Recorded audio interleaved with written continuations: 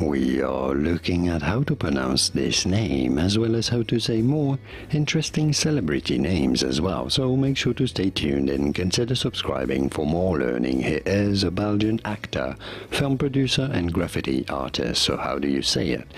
His first name is Matthias, not Matthias, but rather Matthias. Now his last name, since he is from Belgium, it should be said as Soenaerts. Soenaerts is how it is said in his country of origin, although in English it is normally pronounced as Schoenaert, Schoenaert, Matthias Schoenaert.